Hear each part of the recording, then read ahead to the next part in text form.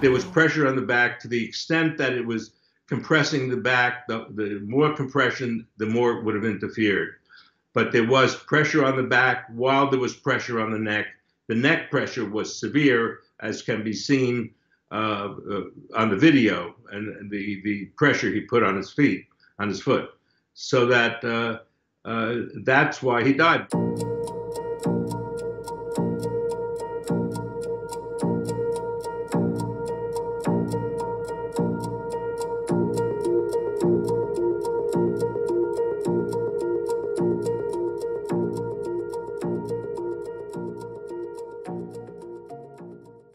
The pressure on the back pushes up the, the liver in under the diaphragm so the diaphragms can function. In order to breathe, to inhale and exhale, the diaphragms have to go up and down, uh, uh normally about 10 to 12 times a minute.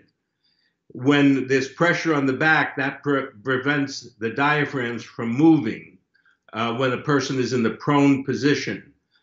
And that's why uh, he said, uh, Floyd said, I can't breathe. I can't breathe because he couldn't inhale. He couldn't inhale. And unfortunately, many police are under the impression that if somebody talks, they're breathing.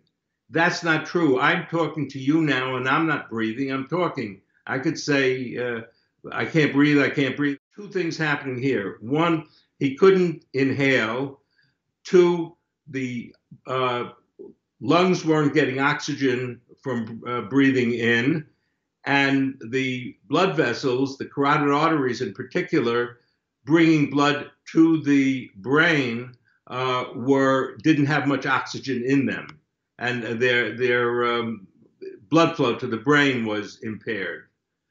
There was also marks on his nose and fa face uh, that would indicate that at some point they were pressed against the ground, uh, uh, the uh, roadway, uh, which would uh, impair uh, breathing too. So these were combinations of things that prevented him from breathing, and within less than four minutes, he was lifeless. And when he was lifeless, as can be seen on the video, he wasn't moving, he wasn't breathing. When the EMS got there a few minutes later, he had no pulse. He had a cardiac arrest. They shocked him, didn't work. They brought him to the hospital, and minutes later, he's pronounced dead. At the hospital, he's pronounced dead, but he died while his neck was being compressed and before the EMS got there. When there's pressure placed on the back in the prone position, and this is taught to all uh, police officers, they are told you, uh, that pressure on the back can cause death. The reason that pressure on the back is concerned to police officers, that's usually the position the person is in when they're trying to put handcuffs on somebody who's resisting. They put them face down on the ground and try to get the wrists together to get the handcuffs on, pressing on the back. And death, many deaths have occurred in that position alone without pressure on the neck. Uh, so that uh, pressure on the back in the prone position can cause death because the person can't breathe, but pressure on the neck uh, uh, prevents the blood flow and airflow from going uh, to the brain and into the lungs. And uh, that alone can cause death. So you have two things here that can cause death. The more severe, severe in this instance from the video, uh, was the pressure on the neck.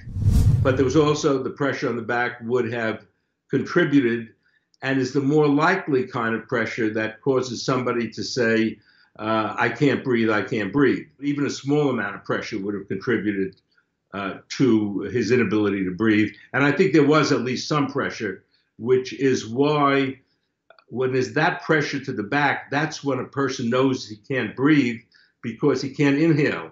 The pressure to the neck doesn't necessarily cause that uh, type of uh, panic feeling.